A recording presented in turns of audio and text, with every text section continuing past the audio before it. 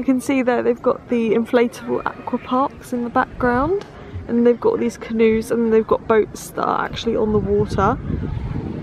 And they also have a zip line right there, which I think you have to do the um, action adventure tree trekking sort of course to do that.